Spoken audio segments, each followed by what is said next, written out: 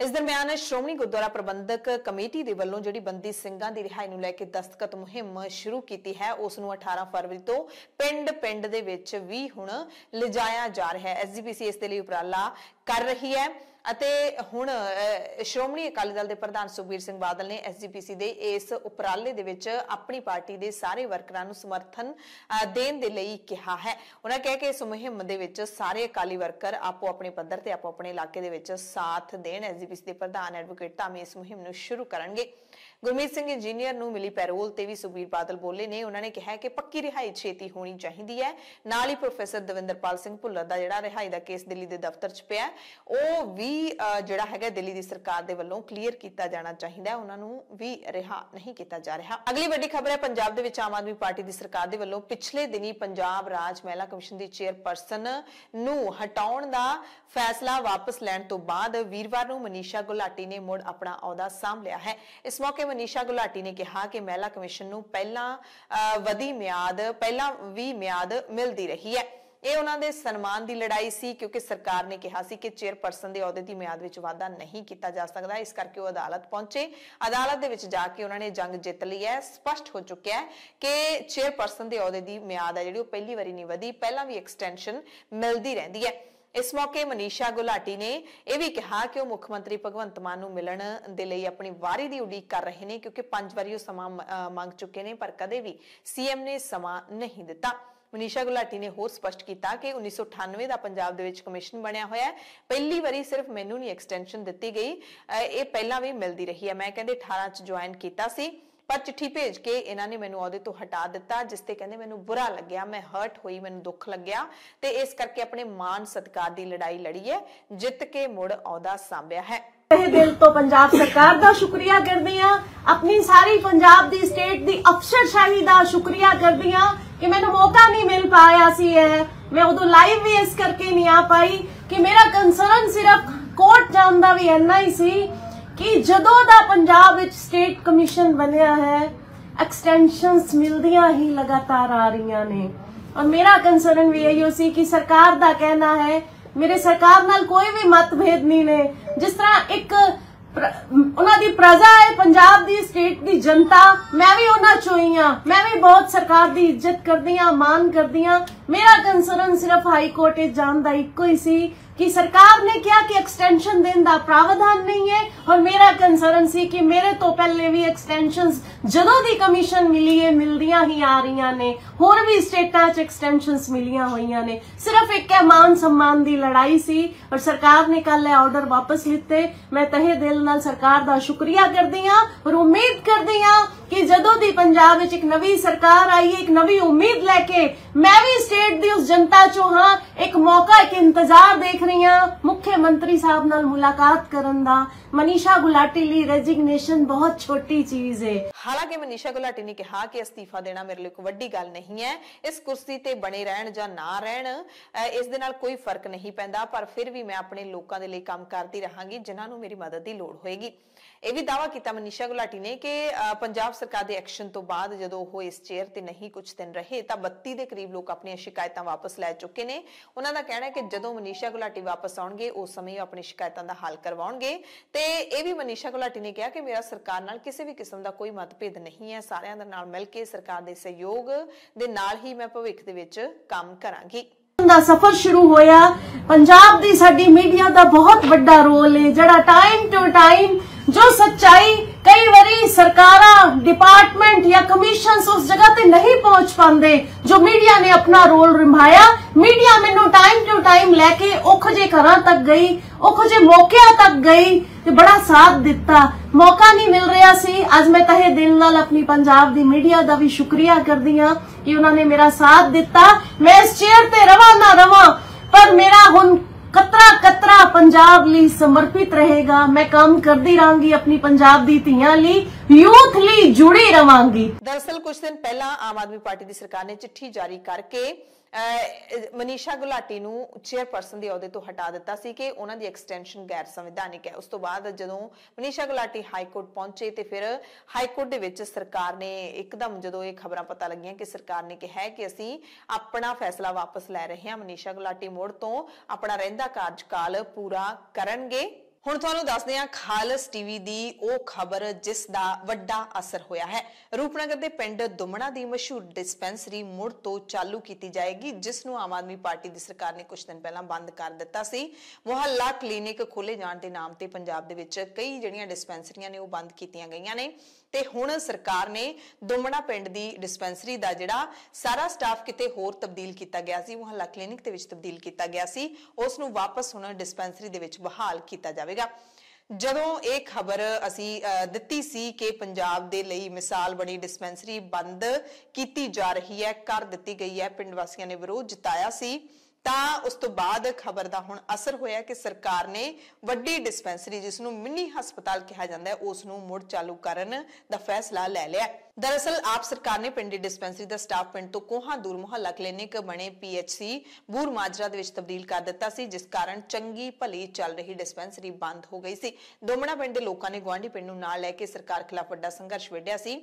ਪਰ ਵੀਰਵਾਰ ਨੂੰ ਜ਼ਿਲ੍ਹੇ ਦੇ ਸਿਵਲ ਸਰਜਨ ਨੇ ਪਿੰਡੀ ਡਿਸਪੈਂਸਰੀ 'ਚ ਪਹੁੰਚ ਕੇ ਮੁੜ ਤੋਂ ਇਸ ਨੂੰ ਚਾਲੂ ਕਰਨ ਦਾ ਐਲਾਨ ਕਰ ਦਿੱਤਾ ਹੈ ਅਤੇ ਇਹ ਵੀ ਕਿਹਾ ਕਿ ਤਬਦੀਲ ਹੋਇਆ ਸਟਾਫ ਮੁੜ ਇਸ ਡਿਸਪੈਂਸਰੀ ਦੇ ਵਿੱਚ ਆਏਗਾ, ਜਿਸ ਤੋਂ ਬਾਅਦ ਲੋਕਾਂ ਦੀ ਖੁਸ਼ੀ ਦੀ ਹੱਦ ਨਹੀਂ ਹੈ। ਇਸ ਤਰ੍ਹਾਂ ਹੈਗਾ ਕਿ ਜਿਹੜੀ ਡਿਸਪੈਂਸਰੀ ਰੂਰਲ ਮੈਡੀਕਲ ਆਫਿਸਰ ਜਿੱਥੇ ਡਾਕਟਰ ਸੀਗੇ ਸੁਖਬੀਰ ਸਿੰਘ ਇਹ ਜਿਹੜੀ ਹੈਗੀ ਹੈ ਰੂਰਲ ਡਿਵੈਲਪਮੈਂਟ ਪੰਚਾਇਤ ਦੇ ਅੰਡਰ, ਜ਼ਿਲ੍ਹਾ ਪ੍ਰੀਸ਼ਦ ਦੇ ਅੰਡਰ ਆਉਂਦੀ ਹੈਗੀ ਹੈ ਡਾਇਰੈਕਟਲੀ ਸਾਡੇ ਅੰਡਰ ਪਰ ਫਿਰ ਵੀ ਇਹ ਜਿਹੜਾ ਹੈਲਥ ਮਿਨਿਸਟਰ ਸਾਹਿਬ ਨੇ ਮੈਨੂੰ ਫੋਨ ਕੀਤਾ, ਦੱਸਿਆ ਕਿ ਉੱਥੇ ਜਾ ਕੇ ਉਹਨਾਂ ਦੀ ਗੱਲ ਸੁਣੋ ਔਰ ਪਰ ਫਿਰ ਹਰ ਹਾਲਤ ਵਿੱਚ ਸੋਲਵ ਕਰੋ ਤੇ ਏਡੀਸੀ ਜੀ ਸਾਹਿਬ ਜਿਹੜੇ ਹੈਗੇ, ਇਹਨਾਂ ਦੇ ਇੰਚਾਰਜ ਹੈਗੇ ਆ ਰੂਰਲ ਮੈਡੀਕਲ ਆਫਿਸਰ ਉਹਨਾਂ ਨਾਲ ਗੱਲਬਾਤ ਕੀਤੀ ਹੈ ਤੇ ਉਹਨਾਂ ਨੇ ਸਾਨੂੰ ਕਿਹਾ ਹੈਗਾ ਕਿ ਅਸੀਂ ਇਹ ਜਿਹੜੇ ਚਾਰ ਦਿਨ ਹੈਗੇ ਡਾਕਟਰ ਜਿਹੜੇ ਪਹਿਲੇ ਸੀਗੇ, ਉਹ ਇੱਥੇ ਚਾਰ ਦਿਨ ਆਇਆ ਕਰਨਗੇ ਆਪਣੇ। ਤੇ ਜਿਹੜੇ ਉੱਥੇ ਅਸੀਂ ਜਿਹੜੇ ਮੂਲ ਮਾਜਰਾ ਹੈਗੇ ਆ, ਅਸੀਂ ਉਹਨਾਂ ਨੂੰ ਰੋਟੇਸ਼ਨ ਵਾਈਜ਼ ਡਾਕਟਰ ਲਗਾ ਕੇ ਅਸੀਂ ਜੋ ਵੀ ਇਹਨਾਂ ਦੀ ਮੰਗ ਸੀ ਉਸ ਨੂੰ ਪੂਰਾ ਕਰਨ ਜਾ ਰਹੇ ਜ਼ਿਲ੍ਹਾ ਅਫਸਰ, ਮੈਡੀਕਲ ਅਫਸਰ ਨੇ ਜੋ ਐਲਾਨ ਕਰਿਆ ਹੈਗਾ ਤੇ ਆਰਡਰ ਵੀ ਹੋ ਗਏ ਆ। ਇਹਦੇ ਸਾਨੂੰ ਪਿੰਡ ਵਾਸੀਆਂ ਨੂੰ, ਸਮੁੱਚੇ ਨਗਰ ਵਾਸੀ, ਇਲਾਕੇ ਵਾਸੀਆਂ ਨੂੰ ਬਹੁਤ ਖੁਸ਼ੀ ਆ ਤੇ ਇਹਦੇ ਵਿੱਚ ਸਮੁੱਚੇ ਮੀਡੀਆ ਮੀਡੀਆ ਦਾ ਤੇ ਵਿਸ਼ੇਸ਼ ਤੌਰ ਤੇ, ਵਿਸ਼ੇਸ਼ ਤੌਰ ਤੇ ਖਾਲਸ ਟੀਵੀ ਵਾਲਿਆਂ ਦਾ ਬਹੁਤ ਯੋਗਦਾਨ ਰਿਹਾ ਕਿਉਂਕਿ ਇਹਨਾਂ ਦੇ ਜ਼ਰੀਏ ਹੀ ਜਿਹੜੀ ਸਾਡੀ ਆਵਾਜ਼ ਆ, ਉਹ ਪੂਰੇ ਪੰਜਾਬ ਵਿੱਚ ਪਹੁੰਚ ਸਕੀ ਆ। ਅਸੀਂ ਇਹਨਾਂ ਦਾ ਵਿਸ਼ੇਸ਼ ਤੌਰ ਤੇ ਬਹੁਤ ਬਹੁਤ ਧੰਨਵਾਦ ਕਰਦੇ ਹਾਂ ਤੇ ਸਾਨੂੰ ਬਹੁਤ ਖੁਸ਼ੀ ਆ ਕਿ ਸਾਡੀ ਜਿਹੜੇ ਪਿੰਡ ਦੀ ਡਿਸਪੈਂਸਰੀ ਆ, ਇਹ ਮੁੜ ਪਿੰਡ ਦੇ ਵਿੱਚ ਆ ਗਈ ਹੈ। ਤੇ ਖਬਰ ਇਸ ਕਰਕੇ ਵੀ ਖਾਸ ਹੋਏਗੀ, ਤੁਹਾਨੂੰ ਜਾਣ ਕੇ ਹੈਰਾਨੀ ਹੋਏਗੀ ਕਿ ਦੇਸ਼ ਦੇ ਪਹਿਲੇ ਰੱਖਿਆ ਮੰਤਰੀ ਬਲਦੇਵ ਸਿੰਘ ਦੇ ਪਿੰਡ ਦੁਮਣਾ ਦੀ ਇਹ ਡਿਸਪੈਂਸਰੀ ਇੰਨੀ ਖਾਸ ਹੈ ਕਿ ਇਲਾਕੇ ਦੇ ਲੋਕ ਇਸ ਨੂੰ ਮਿੰਨੀ ਹਸਪਤਾਲ ਕਹਿੰਦੇ ਨੇ। ਇੱਥੇ ਸਿਰਫ ਇਸੇ ਪਿੰਡ ਦੇ ਲੋਕ ਇਲਾਜ ਲਈ ਨਹੀਂ ਆਉਂਦੇ, ਬਲਕਿ ਆਸ-ਪਾਸ ਦੇ ਕਈ ਪਿੰਡਾਂ ਦੇ ਲੋਕ ਦੂਰ ਦੁਰਾਡੇ ਤੋਂ ਵੀ ਇਸ ਪਿੰਡ ਦੀ ਡਿਸਪੈਂਸਰੀ ਦੇ ਵਿੱਚ ਆਪਣੇ ਇਲਾਜ ਲਈ ਆਉਂਦੇ ਨੇ। ਵਧੀਆ ਸਹੂਲਤਾਂ ਕਰਕੇ ਇਹ ਜਿਹੜੀ ਡਿਸਪੈਂਸਰੀ ਉਹ ਪ੍ਰਾਈਵੇਟ ਹਸਪਤਾਲਾਂ ਨੂੰ ਵੀ ਮਾਤ ਦਿੰਦੀ ਆ ਰਹੀ ਸੀ। ਤੇ ਹੁਣ ਇਸ ਦੇ ਮੁੜ ਸ਼ੁਰੂ ਹੋਣ ਤੇ ਸਾਡੀ ਵੀ ਮਿਹਨਤ ਸਾਨੂੰ ਲੱਗਦਾ ਹੈ ਕਿ ਪੱਲੇ ਪਈ ਹੈ। ਅਸੀਂ ਇਹ ਖਬਰ ਦਿਖਾਈ, ਸਰਕਾਰ ਦੇ ਕੰਨਾਂ ਤੱਕ ਪਹੁੰਚੀ ਤੇ ਸਰਕਾਰ ਨੇ ਲੋਕਾਂ ਤੋਂ ਇਹ ਸਿਹਤ ਸਹੂਲਤ ਜਿਹੜੀ ਵਾਪਸ ਲਈ ਸੀ ਉਸ ਨੂੰ ਵਾਪਸ ਮੋੜ ਦਿੱਤਾ ਸ਼੍ਰੀ ਗੁਰੂ ਗ੍ਰੰਥ ਸਾਹਿਬ ਜੀ ਦੇ ਲਾਤਾ 328 ਪਾਵਨ ਸਰੂਪਾਂ ਦੇ ਮਾਮਲੇ ਤੇ ਸ਼੍ਰੋਮਣੀ ਗੁਰਦੁਆਰਾ ਪ੍ਰਬੰਧਕ ਕਮੇਟੀ ਦੇ ਪ੍ਰਧਾਨ ਐਡਵੋਕੇਟ ਹਰਜਿੰਦਰ ਸਿੰਘ ਧਾਮੀ ਨੂੰ ਸ਼੍ਰੀ ਅਕਾਲ ਤਖਤ ਸਾਹਿਬ ਦੇ ਸਾਬਕਾ ਜਥੇਦਾਰ ਤੇ ਪੰਥਕ ਅਕਾਲੀ ਲਹਿਰ ਦੇ ਪ੍ਰਧਾਨ ਭਾਈ ਰਣਜੀਤ ਸਿੰਘ ਨੇ ਘੇਰਿਆ ਹੈ। ਉਹਨਾਂ ਕਿਹਾ ਕਿ ਸ਼੍ਰੋਮਣੀ ਕਮੇਟੀ ਤੇ ਸਰੂਪ ਲਾਪਤਾ ਕਰਨ ਦੇ ਦੋਸ਼ ਕਿਸ ਨੇ ਲਾਏ ਸਨ? ਜਥੇਦਾਰ ਨੇ ਧਾਮੀ ਨੂੰ ਦੱਸਿਆ ਕਿ ਦੋਸ਼ ਤੁਹਾਡੇ ਅਫਸਰਾਂ ਨੇ ਲਾਏ ਸਨ। ਹੁਣ ਤੁਸੀਂ ਕਹਿ ਰਹੇ ਹੋ ਕਿ ਸਰੂਪ ਲਾਪਤਾ ਨਹੀਂ ਹੋਏ। ਇਸ ਮੁੱਦੇ ਤੇ ਪੰਜ ਨਹੀਂ, ਬਲਕਿ ਕਹਿੰਦੇ 6 ਕਮੇਟੀਆਂ ਬਣੀਆਂ। ਹੁਣ ਧਾਮੀ ਕਹਿ ਰਹੇ ਨੇ ਕਿ ਇਸ ਨੂੰ ਲਾਪਤਾ ਨਾ ਕਹੀਏ, ਬੇਅਦਬੀ ਨਾ ਕਹੀਏ। ਤੇ ਇਸ ਮੁੱਦੇ ਦਾ ਰੌਲਾ ਵੀ ਤਾਂ ਦੱਸਣ ਕਿ ਕਿਸ ਨੇ ਪਾਇਆ ਸੀ। ਖੁਦ ਦੱਸਣ ਕਿ ਸਰੂਪਾਂ ਦੀ ਇੱਜ਼ਤ ਕਿੱਥੇ ਹੋ ਰਹੀ ਹੈ, ਕਿੱਥੇ ਚੌਰ ਸਾਹਿਬ ਹੋ ਰਿਹਾ ਸਾਨੂੰ ਦੱਸਣ ਇਸ ਸਰੂਪ ਇੱਜ਼ਤ ਦੇ ਨਾਲ, ਸਨਮਾਨ ਦੇ ਨਾਲ ਕਿੱਥੇ ਰੱਖੇ ਹੋਏ ਨੇ। ਜੇ ਸਰੂਪ ਚੋਰੀ ਨਹੀਂ ਹੋਏ, ਲਾਪਤਾ ਨਹੀਂ ਹੋਏ, ਤਾਂ ਫਿਰ ਸਰੂਪ ਕਿਸ ਨੂੰ ਦਿੱਤੇ ਗਏ ਨੇ? ਜੇ ਫ੍ਰੀ ਦੇ ਵਿੱਚ ਵੀ ਦਿੱਤੇ ਗਏ ਨੇ, ਤਾਂ ਇਹ ਸਰੂਪ ਕਿਸ ਨੂੰ ਦਿੱਤੇ ਗਏ ਨੇ? ਕਮ ਸੇ ਕਮ ਇਹ ਸਾਨੂੰ ਦੱਸਿਆ ਜਾਵੇ। ਉਹਨਾਂ ਕਿਹਾ ਕਿ ਸ਼੍ਰੋਮਣੀ ਕਮੇਟੀ 2008 ਤੋਂ ਲੈ ਕੇ ਹੁਣ ਤੱਕ ਪੰਜਾਬ ਤੇ ਹਰਿਆਣਾ ਹਾਈ ਕੋਰਟ ਦੇ ਵਿੱਚ ਜਵਾਬ ਕਿਉਂ ਨਹੀਂ ਦੇ ਰਹੀ? ਕਿ ਸਰੂਪ ਕਿੱਥੇ ਨੇ? ਸਾਨੂੰ ਪੁਰਾਤਨ ਸਰੂਪ ਚਾਹੀਦੇ ਨੇ, ਉਹ ਸਾਡੀ ਜਿੰਦ ਜਾਨ ਨੇ, ਜਿਸ ਦੇ ਆਧਾਰ ਤੇ ਹੀ ਅਸੀਂ ਨਵੇਂ ਸਰੂਪਾਂ ਦੀ ਸੁਧਾਈ ਕਰ ਸਕਦੇ ਹਾਂ। ਜਥੇਦਾਰ ਨੇ ਧਾਮੀ ਨੂੰ ਚੈਲੰਜ ਕੀਤਾ ਹੈ ਕਿ ਅਸੀਂ ਪ੍ਰਬੰਧਕ ਕਮੇਟੀ ਦੇ ਕੰਪਲੈਕਸ ਵਿੱਚ ਜਾਂ ਜਿੱਥੇ ਵੀ ਤੁਸੀਂ ਕਹੋ ਇਸ ਮੁੱਦੇ ਤੇ ਸ਼੍ਰੋਮਣੀ ਕਮੇਟੀ ਦੇ ਨਾਲ ਤੁਹਾਡੇ ਨਾਲ ਡਿਬੇਟ ਕਰਨ ਦੇ ਲਈ ਤਿਆਰ ਹਾਂ। ਇਸ ਡਿਬੇਟ ਦਾ ਸਿੱਧਾ ਪ੍ਰਸਾਰਣ ਮੀਡੀਆ ਦੇ ਵਿੱਚ ਵੀ ਹੋਣਾ ਚਾਹੀਦਾ। ਅਸੀਂ ਸਾਰੇ ਪਾਜ ਖੋਲਾਂਗੇ, ਦੁੱਧ ਦਾ ਦੁੱਧ ਤੇ ਪਾਣੀ ਦਾ ਪਾਣੀ ਕਰਾਂਗੇ। ਕਮਲਜੀਤ ਸਿੰਘ ਨਹੀਂ ਜਾਂਦਾ ਨਾਲ। ਇਹਦੇ ਵਿੱਚ ਮੈਨੇਜਰ ਜਾਂਦਾ ਮੈਨੇਜਰ ਦੇ ਕੋਲ ਇੱਕ ਬਿੱਲ ਬਣਿਆ ਹੁੰਦਾ ਹੈ। ਜਿਹੜਾ ਬਿੱਲ ਦੱਸਦਾ ਕਿ ਇਹ ਸਰੂਪ ਕਿਸ ਥਾਂ ਤੇ ਜਾ ਰਹੇ ਨੇ। ਆਈਡੀ ਕੀ ਹੈ, ਉਥੋਂ ਦੀ। ਉਹਦੇ ਉਹਦੇ ਉੱਤੇ ਲਿਖਿਆ ਹੁੰਦਾ ਕਿ ਇਹ ਇੰਨੀ ਭੇਟਾ ਮੈਨੇਜਰ ਨੂੰ ਦੇ ਦਿੱਤੀ ਜਾਵੇ। ਫਰਜ਼ ਕਰ ਲਓ, ਉਹ ਭੇਟਾ ਵਾਪਸ ਜਮ੍ਹਾਂ ਨਹੀਂ ਹੁੰਦੀ, ਤੇ ਫਿਰ ਤੁਹਾਡੇ 10 ਸਾਲ ਇਹ ਜਿਹੜੇ ਆਡਿਟ ਕਰਨ ਵਾਲੇ ਜਿਹੜੇ ਸੈਕਸ਼- ਸੈਕਸ਼ਨ ਨੇ 1 2 3 4 ਫਿਰ ਅਖੀਰ ਤੇ ਮਿਸਟਰ ਕੋਹਲੀ ਜਿਹੜਾ 8 ਲੱਖ ਰੁਪਇਆ ਤਨਖਾਹ ਲੈਂਦਾ, ਇਹ ਭੰਗ ਪੀ ਕੇ ਬੈਠਦੇ ਨੇ ਇੱਥੇ। ਇਹ ਕੀ ਦੇਖਦੇ ਨੇ? ਇਹ ਆਡਿਟ ਕਾਹਦਾ ਕਰਦੇ ਨੇ? 8 ਲੱਖ ਰੁਪਇਆ ਤਨਖਾਹ ਲੈਣ ਵਾਲਾ 10 ਸਾਲ ਇਹ ਨਾ ਦੱਸ ਸਕੇ ਕਿ ਮੈਂ ਇਹਦਾ ਆਡਿਟ ਕੀਤਾ ਹੈ ਤੇ ਇਹ ਪੈਸੇ ਕਿੱਥੇ ਗਏ? ਇਹ ਪੈਸਿਆਂ ਨੂੰ ਮੈਂ ਕਿਸ ਕਦੀ ਰੋਕਿਆ, ਕਦੀ ਪੁੱਛਿਆ। ਇਹ ਇਹ ਇਹ ਕਪਲਾ ਨਹੀਂ ਚੱਲਣਾ ਮਿਸਟਰ ਧਾਮੀ। ਇਹ ਸੱਚ ਸਾਹਮਣੇ ਆਉਣਾ ਚਾਹੀਦਾ। ਜੇ ਇਹ ਸਰੂਪ ਜਿਹੜੇ ਨੇ ਫਰਜ਼ ਕਰ ਲਓ ਕਿਤੇ ਗਏ ਨਹੀਂ, ਲਾਪਤਾ ਵੀ ਨਹੀਂ ਹੋਏ, ਬੇਅਦਬੀ ਨਹੀਂ ਹੋਈ ਤੇ ਫਿਰ ਇਹਨਾਂ ਦਾ ਰੌਲਾ ਤੁਸੀਂ ਪਾਇਆ, ਤੁਹਾਡੀਆਂ ਕਮੇਟੀਆਂ ਨੇ ਪਾਇਆ ਤੇ ਕਮੇਟੀਆਂ ਦੀ ਰਿਪੋਰਟ ਤੁਸੀਂ ਨਸ਼ਰ ਨਹੀਂ ਕਰ ਰਹੇ। ਹੁਣ ਮੈਂ ਤੁਹਾਨੂੰ ਇੱਕ ਹੋਰ ਸਵਾਲ ਕਰਨ ਲੱਗਾ। ਇਮਾਨਦਾਰੀ ਨਾਲ ਜਵਾਬ ਦਿਓ। ਇਹ ਤੇ ਸੀ ਗੁਰੂ ਗ੍ਰੰਥ ਸਾਹਿਬ ਭਵਨ ਦੀ ਦਾਸਤਾਂ ਜਿਹੜੇ ਗੁਰੂ ਰਾਮਦਾਸ ਰੈਫਰੈਂਸ ਲਾਇਬ੍ਰੇਰੀ ਦੇ ਵਿੱਚ ਸਰੂਪ ਪਏ ਸਨ, ਦਿੱਲੀ ਤੋਂ ਆਏ। ਪ੍ਰਾਤਨ ਸਰੂਪ, ਹੱਥ ਲਿਖਤ ਸਰੂਪ 205 ਸਰੂਪ ਗੁਰੂ ਗ੍ਰੰਥ ਸਾਹਿਬ ਦੋ ਦਸਮ ਗ੍ਰੰਥ ਪ੍ਰਾਤਨ, ਦੋ ਜਨਮ ਸਖੀਆਂ ਦੇ ਖੜੜੇ, ਖਰੜੇ ਪ੍ਰਾਤਨ ਔਰ 28 ਹੁਕਮਨਾਮੇ, ਉਹ ਕਿੱਥੇ ਚਲੇ ਗਏ? ਉਹਨਾਂ ਨੂੰ ਤੁਸੀਂ ਲਾਪਤਾ ਕਹੋਗੇ? ਜੇ ਲਾਪਤਾ ਨਹੀਂ ਕਹੋਗੇ ਤੇ ਕਿੱਥੇ ਦੱਸੋਗੇ ਕਿੱਥੇ ਉਹਨਾਂ ਦੀ ਇੱਜ਼ਤ ਹੋ ਰਹੀ ਆ?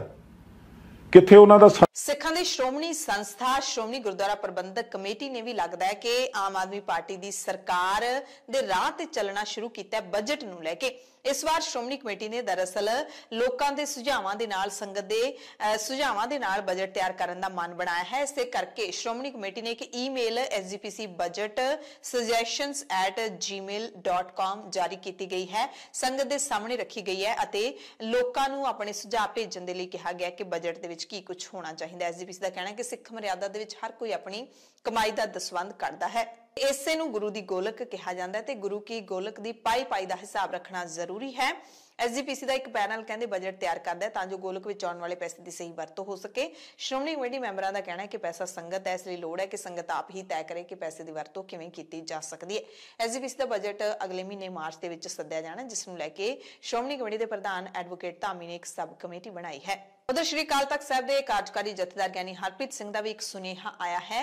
ਜਥੇਦਾਰ ਨੇ ਸੰਗਤ ਨੂੰ ਮੋਬਾਈਲ ਦੀ ਥਾਂ ਗੁਟਕਾ ਸਾਹਿਬ ਤੋਂ ਪੋਥੀ ਸਾਹਿਬ ਤੋਂ ਪਾਠ ਕਰਨ ਦੀ ਸਲਾਹ ਦਿੰਦਿਆਂ ਕਿਹਾ ਕਿ ਗੁਟਕਾ ਸਾਹਿਬ ਤੋਂ ਪਾਠ ਕਰਨ ਦਾ ਆਨੰਦ ਕੁਝ ਹੋਰ ਹੀ ਹੁੰਦਾ ਹੈ। ਪੰਜਾਬ ਦੇ ਮੁੱਖ ਮੰਤਰੀ ਭਗਵੰਤ ਸਿੰਘ ਮਾਨ ਵੀਰਵਾਰ ਨੂੰ ਤੇਲੰਗਾਨਾ ਦੌਰੇ ਤੇ ਪਹੁੰਚੇ। ਸੀਐਮ ਮਾਨ ਨੇ ਉੱਥੇ ਸਿੰਚਾਈ ਵਿਭਾਗ ਦੇ ਅਧਿਕਾਰੀਆਂ ਨਾਲ ਮੀਟਿੰਗ ਕੀਤੀ ਤੇ ਡੈਮਾਂ ਦਾ ਨਿਰੀਖਣ ਕੀਤਾ ਤੇ ਪਾਣੀ ਦੀ ਸਾਂਭ ਸੰਭਾਲ ਬਾਰੇ ਹੋਰ ਵਿਕਲਪਾਂ ਬਾਰੇ ਵੀ ਜਾਣਕਾਰੀ ਲਈ। ਮੁੱਖ ਮੰਤਰੀ ਮਾਨ ਨੇ ਟਵੀਟ ਕਰਕੇ ਦੱਸਿਆ ਕਿ ਤੇਲੰਗਾਨਾ ਦਾ ਪਾਣੀ ਬਚਾਉਣ ਤੇ ਸਹੀ ਢੰਗ ਨਾਲ ਵਰਤੋਂ ਕਰਨ ਦੇ ਮਾਡਲ ਨੂੰ ਅਸੀਂ ਬਹੁਤ ਛੇਤੀ ਪੰਜਾਬ 'ਚ ਵੀ ਲਾਗੂ ਕਰਾਂਗੇ। ਸਾਡਾ ਮਕਸਦ ਹੈ ਪੰਜਾਬ ਦੇ ਧਰਤੀ ਹੇਠਲੇ ਪਾਣੀ ਦੀ ਸਾਂਭ ਸੰਭਾਲ ਕਰੀਏ ਤਾਂ ਜੋ ਆਉਣ ਵਾਲੀਆਂ ਪੀੜ੍ਹੀਆਂ ਲਈ ਵੀ ਪਾਣੀ ਬਚ ਸਕੇ। ਪੰਜਾਬ ਦੇ ਟਰਾਂਸਪੋਰਟ ਮੰਤਰੀ ਲਾਲਜੀਤ ਸਿੰਘ ਭੁੱਲਰ ਨੇ ਕੁਝ ਆਰਟੀਏ ਦਫ਼ਤਰਾਂ ਦੇ ਵਿੱਚ ਲੋਕਾਂ ਦੀ ਖੱਜਲ ਖੁਆਰੀ ਦੀਆਂ ਸ਼ਿਕਾਇਤਾਂ ਦਾ ਗੰਭੀਰ ਨੋਟਿਸ ਲਿਆ ਹੈ ਤੇ ਅਜਿਹੇ ਮੁਲਾਜ਼ਮਾਂ ਨੂੰ ਬਾਜ ਆਉਣ ਦੀ ਤਾਕੀਦ ਕੀਤੀ ਹੈ, ਜਿਹੜੇ ਲੋਕਾਂ ਨੂੰ ਠਿੱਠ ਕਰਦੇ ਨੇ, ਤੰਗ ਪਰੇਸ਼ਾਨ ਕਰਦੇ ਨੇ। ਕੈਬਨਿਟ ਮੰਤਰੀ ਨੇ ਪ੍ਰਮੁੱਖ ਸਕੱਤਰ ਨੂੰ ਅਜਿਹੇ ਅਧਿਕਾਰੀਆਂ ਤੇ ਕਰਮਚਾਰੀਆਂ ਵਿਰੁੱਧ ਸਖਤ ਕਾਰਵਾਈ ਅਮਲ 'ਚ ਲਿਆਉਣ ਦੇ ਹੁਕਮ ਦਿੱਤੇ ਨੇ। ਪੰਜਾਬ ਦੇ ਸਿੱਖਿਆ ਮੰਤਰੀ ਹਰਜੋਤ ਬੈਂਸ ਨੇ ਜ਼ਿਲ੍ਹਾ ਸਿੱਖਿਆ ਅਫਸਰ ਐਲੀਮੈਂਟਰੀ ਤਰਨਤਾਰਨ ਦਲਜਿੰਦਰ ਕੌਰ ਨੂੰ ਮੁਅੱਤਲ ਕਰ ਦਿੱਤਾ ਹੈ। ਉਹਨਾਂ ਤੇ ਬੱਚਿਆਂ ਦੇ ਪਹਿਰਾਵੇ ਦੇ ਲਈ ਗ੍ਰਾਂਟ ਵਿੱਚ ਗਬਨ ਕਰਨ ਦਾ ਦੋਸ਼ ਹੈ। ਯਾਨੀ ਕਿ ਬੱਚਿਆਂ ਦੀਆਂ ਵਰਦੀਆਂ ਲਈ ਗ੍ਰਾਂਟ ਗਈ ਹੋਏਗੀ। ਉਸ ਦੇ ਵਿੱਚ ਘੁਟਾਲਾ ਕੀਤਾ ਹੈ। ਇਸੇ ਕਰਕੇ ਇਹਨਾਂ ਨੂੰ ਸਸਪੈਂਡ ਕਰ ਦਿੱਤਾ ਹੈ।